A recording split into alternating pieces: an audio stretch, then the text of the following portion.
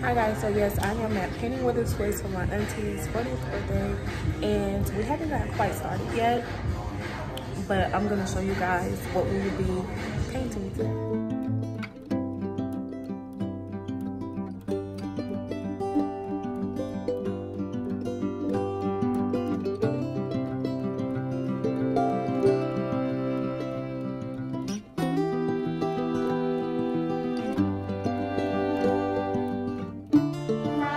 The shoes.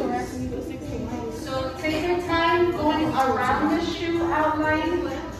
However, if you ever erase it or cover it up, I can always repaint, redraw it for you. Okay, I see you down there. What I'm saying, girl, you doing a damn thing over here. Oh yeah, that's real cute. She doing some good.